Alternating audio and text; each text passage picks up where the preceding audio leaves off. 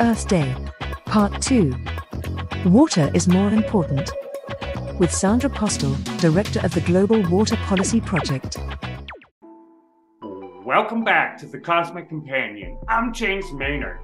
Now, in the second part of this two part Earth Day episode, water is more important we're exploring the vital roles that water plays in sustaining life on Earth and beyond. Our special guest is none other than Sandra Postel, Director of the Global Water Policy Project. She'll share her insights with us into the importance of this precious resource. So, I'm sitting here on my bachelor pad, and you have me wondering, how did it all get here?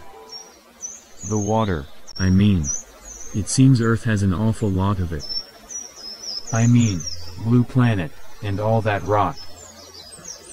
Now, it turns out no one is quite sure how or why water formed in such great quantities on Earth. Now, certainly being at the right distance from the sun and having a thick atmosphere or allowing water to cool on its surface certainly helps. But how did water first arise on our world? Now, researchers have been puzzling over this question for a few years, and there are a few major ideas which have emerged. Uh, one theory is that uh, water arrived on Earth through comets and asteroids. These space-borne clumps of rock and ice collided with our planet in great numbers billions of years ago potentially bringing water with them. Early Earth will never make it through this heavy bombardment. Uh, this theory is supported by the fact that the ratio of heavy to wa- regular water on Earth is very similar to that found in comets, suggesting the snowballs in space may have played a major role in forming the oceans of Earth. Another possibility is that water was present on Earth from the very beginning during the formation of our planet. Now, this theory suggests that water was present in the gas and dust cloud that eventually coalesced to form our planet. Now, as Earth cooled and solidified, the water vapor condensed into liquid, forming oceans. Echo water. Totally. A third theory is that water was created by the reactions that took place within the Earth's mantle. Uh, this idea suggests that uh, high pressures and temperatures within the mantle cause the formation of water molecules from the elements present from the layers of our nascent planet. Also, it is possible that each of these sources played some role in creating the aquatic environment of our water world. Now, today, water covers more than 70% of our planet, supporting millions of species of life. And water around the planet, together with the life which depends on it, are threatened by global climate change driven by human activity. Next up, we're going to talk with Sandra Postel, Director of the Global Water Policy Project. Looking deep into the universe, we see backwards in time. And the oldest light in the universe holds secrets to how everything around us will, one day, end.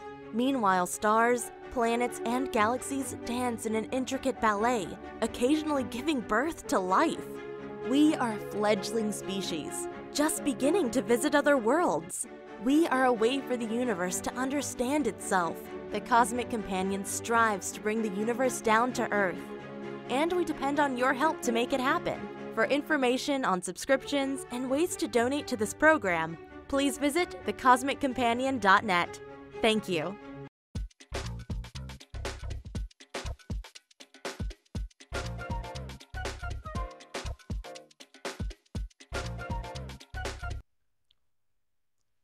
This week on The Cosmic Companion, we are delighted to be joined by Sandra Postel. She is director of the Global Water Policy Project, and she's recently written the foreword to this new book from Nat Geo Kids, Water why every drop counts and how you should start making waves to protect it. Welcome to the show, Sandra. Thank you so much. It's a pleasure to be here. Excellent. So, could tell us a little bit about how you first became interested in science, conservation, and water? yeah, sure. It's a great question. I, yeah, I think it goes back to when I was about, you know, a young person. Um, certainly by age fifteen, I just felt a really strong sense that I was here on this planet to do something on behalf of the Earth and um, it felt like a great sense of purpose that I got early on. And water became sort of my fascination and passion, really. Um, I had opportunities in, you know, in school to study water, and my first job out of school was around water, and I just sort of got hooked and never quite left. So it's been a long, a long journey and a really fun, good one too. Mm, did you grow up around the water, like at the ocean side or lake or? I, I actually did. I grew up on Long Island Oh, uh, that's in New right. York. So I spent many, many days at the beach. So in some ways, it might have made sense to be an ocean conservationist more than freshwater. But at the same time, I learned, you know, the importance of freshwater, living, you know, around the sea and relying on groundwater beneath our feet for our drinking water. So um, yeah, it was it was a great start to uh, appreciating all the nature around us. That is fabulous. So, you know, over your career, you must have learned so many incredible things about water. But what do you think are some of the general public's biggest misconceptions about water? biggest misconceptions. I think one is that water is just always going to be there, right? It rains, it snows. But the fact is, it's all finite. You know, we look at this blue planet, this beautiful blue planet, and most of that water, 90, you know, 99% of it is not water we can drink or use to grow crops. And the vast majority of it is the water that is behind you, is the ocean. And less than 1% of all that blue on the planet is water that is fresh and accessible to us. And it's finite, right? But Right. we've had growing population, we've had growing, you know, use of water, growing demand for water against that finite supply. So that's really kind of the challenge is to make sure that we, you know, stay within the limits of water and and make sure it's there for for future generations. Mm. And it's funny because I think that a lot of people, when they think of water, tend to think of, oh, how am I gonna, what, you know, what am I gonna use to drink and cook and wash my wash my clothes with? But there's a whole lot of, we use up a whole lot of, whole lot more water than we might think, don't we? We very much do. And this is a big a big aha for a lot of people. Um, you know that if you add up the numbers, it takes about 2,000 gallons of water a day to sustain the average American's lifestyle. And half of that is in our diet. And then maybe a third is in our energy. And then all the things we see in our room, our computer, our phone, our clothes. And then the last five or 10% is the water that we use at home. hmm hmm So our footprint, our water footprint, the water that we're using every day for our, our lifestyle is a lot more than just the water that's coming out of the tap. You know, and if just to give a couple quick numbers to kind of give a sense of this, you know, if we're wearing a cotton shirt, that can take 700 gallons of water to make that one cotton shirt. And most of that water, yeah, yes. there you go. Most of that water is is used to grow the cotton out in the field, right? If we're having like a cheese pizza for lunch, that cheese pizza can take 330 gallons of water to make. Again, that growing the hay to feed the cow, to make the milk and, and make the cheese. So there's a lot of water that goes into our lifestyle. And I don't want to make people feel guilty about that. It takes a lot of water to grow crops and so on. But what I hope people can see is that there are a lot of things we can do to shrink that footprint, but still be very happy, very healthy, very productive in our lives, right? And that's where I think education around water can can really empower us to be more mindful of of um, our own water footprint and how we can shrink it. And that may be a new term for some people water footprint. We've all heard of our carbon footprint, for instance. But what can ordinary people do to help become more aware of and to reduce their water footprint? Yeah, well, a great place to start is the book we're talking about. Um, there's a really good information in there about what our water footprint is and what it consists of. Um, and I think it's a great sort of place to dive in because it starts right here. You know, I think we're accustomed to thinking, well, the engineers are managing the water for us and they do a great job by and large. But mm-hmm. we can also do a lot starting with understanding our personal use of water. And I think the water footprint is a way that that makes that a very sort of intimate personal look at our own use of water and how we can shrink it. Um, and of course, at home, there's also a variety of things we can do with our families. How are we using water outdoors? Do we really need to water that green lawn?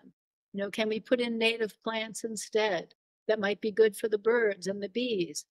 Um, can we fix the leaks in our home? Put more efficient appliances in? You know, there's a lot of just things around the home we could talk to our parents and our siblings and our families about doing. Um, so I think there's a, a, great way to start there and then kind of build out from there into our community. I think a terrific way to get going is to understand our source of water.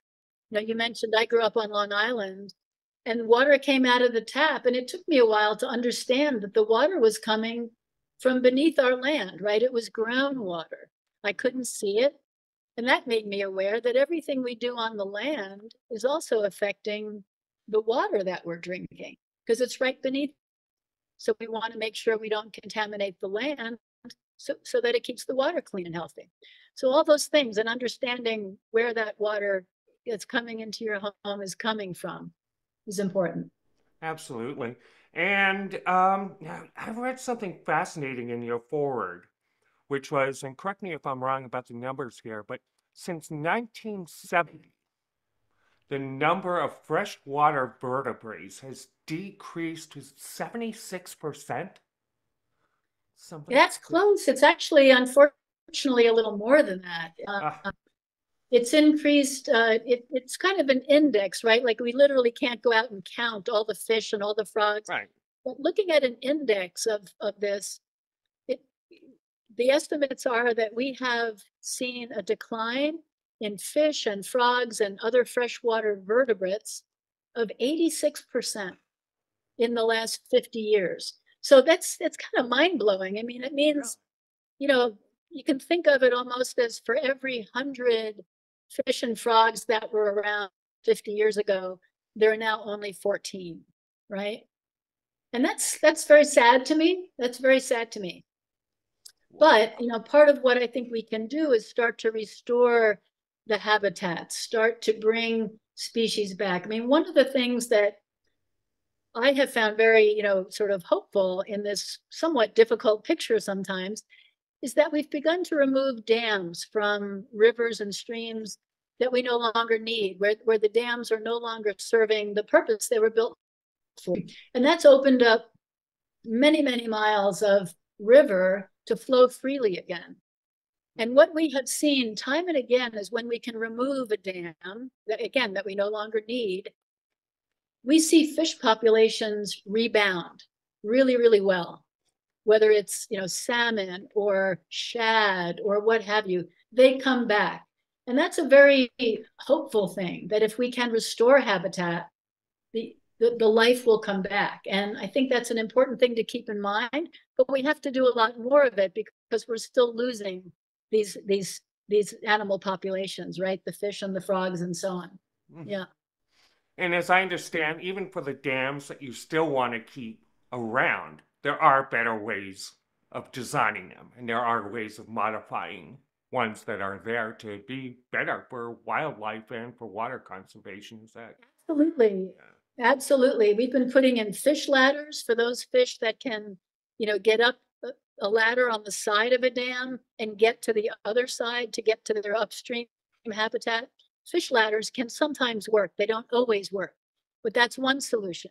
Another one is to think about how the dam could be managed to sort of mimic the way the river flowed before the dam was there. Hmm. So if you think about the snow melt in the springtime, that's usually a big pulse of water that downstream species have relied on for millennia sometimes for their cue to go and spawn. And if we can give them that cue again by releasing some water through the dam, it might them to head upstream to spawn. So we can we can try to do those kinds of things as well to give the life in rivers a bit more of a chance to survive. And um, of course, one of the great things we have to all be aware of in in our times uh, is global warming and global climate change. Can you tell us about some of the effects that uh, global warming has had uh, on our, especially our oceans, but other waterways as well? Yeah, if you think about global warming, the basic physics of it, if you will, is that we're warming the atmosphere through you know the greenhouse gases, carbon dioxide, and so on. And as the atmosphere warms, it expands. And that means it can hold more water. So what that does is it increases evaporation from the drier areas and it increases the intensity of rainfall in the wetter areas. So in a way, dry areas are getting drier, wet areas are getting wetter. And we've seen this, right? Flooding is getting more severe and droughts are getting more severe. So global warming is, is very much affecting the water cycle. And if I were to say, I think most of us have already experienced this in one form or another, that the way we are experiencing climate change, which can kind of seem a little abstract, right. the way we're experiencing climate change is largely through this water cycle more intensity of droughts, wildfires, more intensity of floods, and that kind of thing. And so, in order to really have more security of water in the future, we're going to have to face the climate impacts, right? And build more resilience into the into the picture and slow that rate of climate change down. You know, we're beginning to get a hint of where the future is if we don't tamp it back. And we're starting to, but wow, it's way, way too little given the scale of the challenge, right? We've really got to scale it up, ramp it up, and make this an all hands on deck moment. We've seen, we've gotten glimmers of what's going to happen if we don't face the music here. And I think we need to really all join into this into this challenge. And finally, you know, the whole thing with trying to save save water, save the oceans to help protect water to help combat climate change can seem overwhelming. You know, it can feel like you're tilting at windmills. So, uh, I do sometimes. uh, so, so what can you tell people who feel like, oh, there's nothing I can do. I may as well just, you know, live the nihilistic life and, you know, go about what I'm doing. How how can people keep keep hope? You know, I ask myself that a lot, and it's challenging. It, in this in this time, it's it's challenging to to feel hopeful. And I'm I'm a believer in honest hope. I mean, hope is a very nebulous concept, and it has to be grounded to me in some realistic way. And, and the way I I take um, some find some hope, some honest hope, looking at ways in which farmers and cities and communities and individuals are, are leading productive, healthy lives, but using less water in the process and returning some water to nature. Those are the two things we need to do shrink our footprint as a society, our water footprint, return some water to the natural world in a way that's going to keep life going. We're all connected in this web of life. And so I think those are the two things we need to do. And if we participate in those, and enough of us participate, in those two things, we can start to turn some of this around. It'll feel like turning the Titanic around, right? And, and hmm. avoiding the iceberg. I think about that sometimes.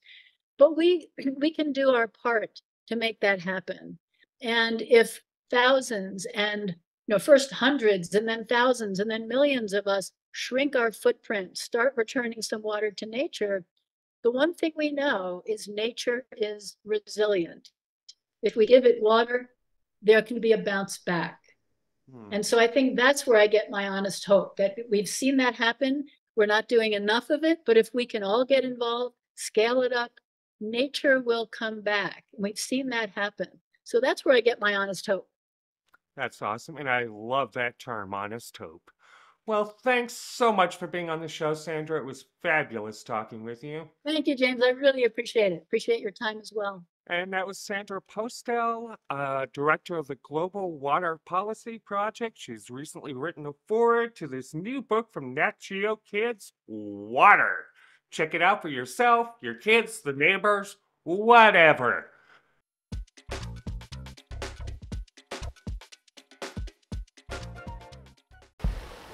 Now, the blue marble on which we live is more than just oceans, lakes, ponds, and rivers. Water's also found in atmosphere, aquifers, and life itself, including you and me. Now, heat from the sun drives evaporation from water, uh, from oceans and other bodies of water, lifting water into the air. Now, this water vapor eventually condenses into clouds and then releases moisture as precipitation, such as rain and snow, back onto the land and the water. Now, moisture which falls onto land can either seep into the ground and become groundwater, or flow back into rivers, lakes, and oceans, restarting the cycle. This process is also influenced by factors like wind, temperature, and topography, which help determine the amount of precipitation that falls in different areas. Now, this water cycle uh, also ensures that water is constantly moving and being redistributed around our planet, providing us with this essential resource that we all need to survive. Some desert plants only need water once every couple weeks under most conditions. Those ever resilient tardigrades can last decades between drinks of water. And, some bacteria also use very little water, although their metabolism still depends on this vital liquid. The rest of us really need this stuff. There are several ways people can help conserve and protect this precious resource. Homeowners can seek out efficient appliances with the WaterSense label and repair water leaks as soon as they're possible, as soon as possible after they're discovered. Rainwater harvesting collects water which would have simply rolled off roofs, making it accessible for gardens and outdoor cleaning. Watering gardens during mornings and evenings reduces evaporation and water use. Shorter showers can also play a role in conserving water. Nay, Wilbur. Every little bit helps when we look to preserve the health of life forms on Earth. Even on other worlds, water may be an ideal substance for extraterrestrial life in which to evolve and develop. Pretty cool, huh? Water is more important, not much. And I'm Poseidon, so I'm right. Next week on the Cosmic Companion, we're going to be pondering panspermia. The idea that life here on Earth may have started from ingredients from space delivered by comets and asteroids. We're going to be talking with Brian Selznick, author of Big Tree. Make sure to join us starting on the 29th of April at the cosmiccompanion.net sign up for our newsletter newsletter at the cosmiccompanion.com and never miss an episode. Probably. If you enjoyed this episode of the Cosmic Companion, please tell your friends about the show, sign up, comment, share, you know those people. Clear skies!